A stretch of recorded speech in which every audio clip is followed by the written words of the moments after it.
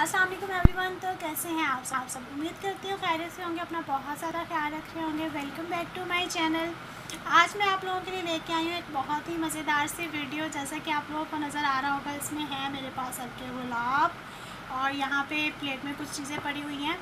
तो समझ तो आप गए होंगे कि ये कौन सी वीडियो और किस तरह की होने वाली है।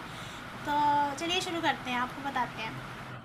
अच्छा इसमें सबसे पहले है, मैं इंग्रेडिएंट्स को जो है ना, आप लोगों के साथ डिस्क्लोज़ कर लेती हूँ, फिर उसके बाद जो है ना, आपको बताऊँगी कि ये कौन सी रेमेडी है कौन सा मास्क है और इसके क्या बेनिफिट्स होने वाले हैं।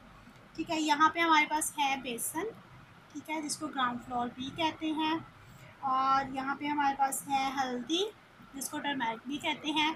ये वाइल्ड टर्मेरिक है, ठीक है, क्योंकि हम लोग अपने घर के लिए जो है ना, अक्सर खुद से पिसवाते हैं। और ये हमारे पास है लेमन, ठीक है? हाफ़ लेमन और ये स्पून है मिक्सिंग के लिए और ये काली बॉल है, जिसमें हम लोग मिक्सिंग करेंगे।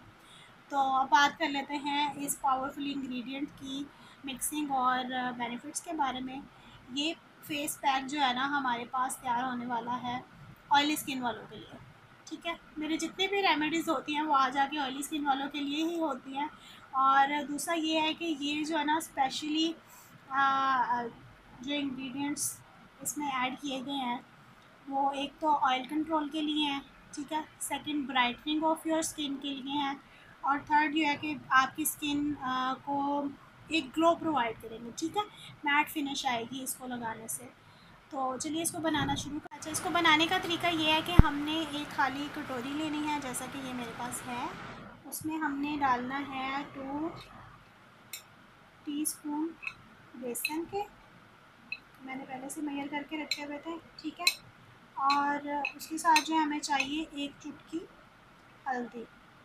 हल्दी आपने बहुत थोड़ी सी लेनी है क्योंकि ये बिल्कुल जो है ना आपके फेस को येलो कर देगी। अगर आप इसको ज़्यादा यूज़ करेंगे और दूसरा ये कि अगर ज़्यादा यूज़ करेंगे ना तो स्किन पे जलन होगी।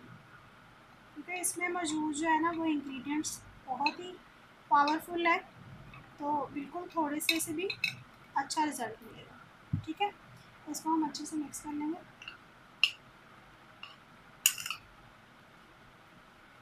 ताकि इसमें ये जो लम्स है ना, ये ना रहे। इनको तोड़ के गुठलियों को अच्छी तरह से मिक्स कर लेंगे।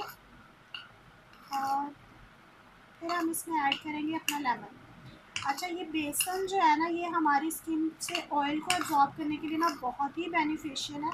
अक्सर हम पकौड़ों में तो इसको डाल लेते हैं।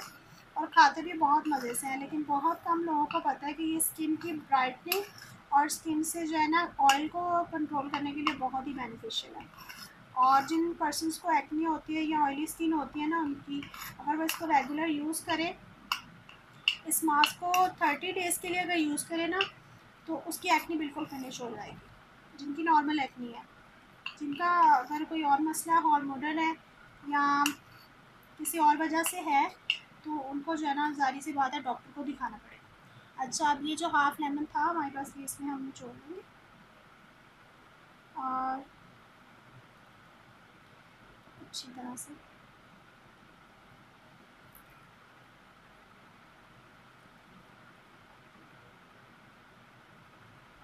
ठीक है? और अभी तो ये पेस्ट नहीं बना, इसको पेस्ट बनाने के लिए हम इसमें यूज़ करेंगे हल्के गुलाब। मेरे पास हल्के गुलाब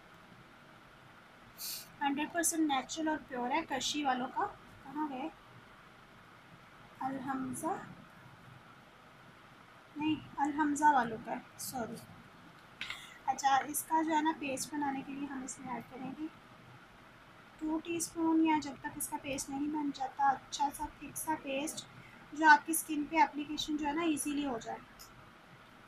अच्छा ये वाला मास्क और ये वाली रेमेडी जो है ना अक्सर एक्ट्रेसेस भी यूज़ करती हैं। मैं देख रही थी सोशल मीडिया पे। तो करीना कपूर ने अपनी जो है ना स्किन केयर रूटीन शेयर की हुई थी जिसमें उसने ये वाला मास्क यूज़ किया हुआ था। आ, बेसन हल्दी और हनी ऐड किया हुआ था उसने। और उसमें था हल्के गुलाब और लेमन देखें, उन एक्ट्रेसेस को भी इन देसी टोटकों की ज़रूरत पड़ी जाती है अपनी स्किन को ग्लोई बनाने के लिए। थोड़ा सा और ऐड करेंगे इसमें, और ज़्यादा हो गया। ऐसे ही होता है। थोड़ा थोड़ा ऐड करते करते ना, ज़्यादा ऐड हो जाता है। अच्छा जी, ये एक बन गया है पेस्ट क्योंकि थोड़ा वाटरी हो गया, मैं इसमें थोड़ा सा ना बेसन और ऐड करती हूँ। फिर मैं आप लोगों को दिखाती हूँ। ये हमारे पास पेस्ट तैयार हो गया है है। और इसके बेनिफिट्स तो आपको मैं बता ही चुकी हूँ। स्किन को स्मूथ करेगा ब्राइट करेगा और स्किन का ऑयल कंट्रोल करेगा। इसके अलावा भी anti aging anti anti inflammatory और सारी प्रॉपर्टीज़ जो एक एक्नी पर्सनस को फील करनी पड़ती हैं या जिनसे वो गुजरता है, उसको ये ट्रीट करने के लिए बेस्ट है। तो आप लोग भी ट्राई करें और मुझे बताएँ कि आप लोगों को ये कैसा लगा। मैं आपको हाथ पे अप्लाई करके दिखाऊँगी। इसके रिज़ल्ट्स भी।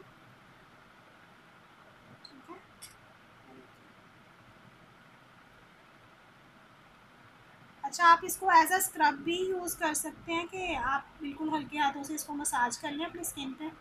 तो ये आपकी स्किन को ना जेंटली एक्सफोलिएट भी करेगा। इसको लगाते हैं दस से पंद्रह मिनट के लिए और फिर आपको दिखाते हैं रिजल्ट्स नाखनों को बचा के, क्योंकि ये आपके नाखनों को पीला कर देगा, इसमें मौजूद हल्दी जो है ना, वो डिसकलरेशन के लिए यूज़ होती है।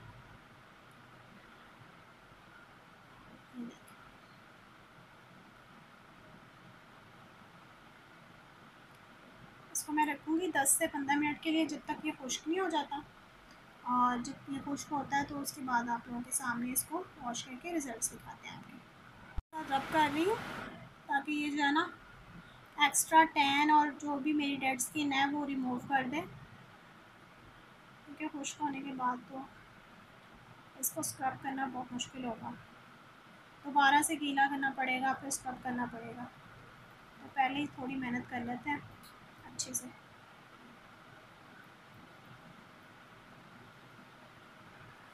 हल्के हाथों से मसाज करना, ये नहीं कि अपनी स्किन को रगड़ना शुरू कर दें और नीचे से जो है ना, रैश हो जाए बल्कि। Scrub scrub scrub.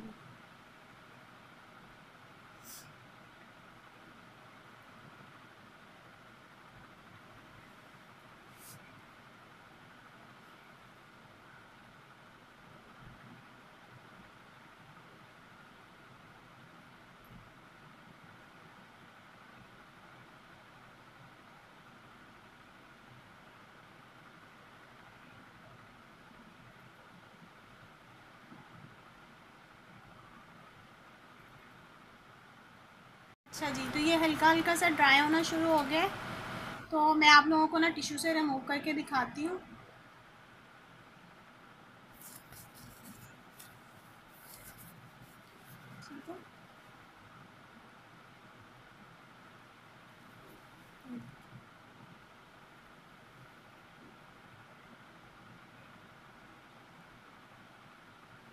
कितना मैट हो गया स्किन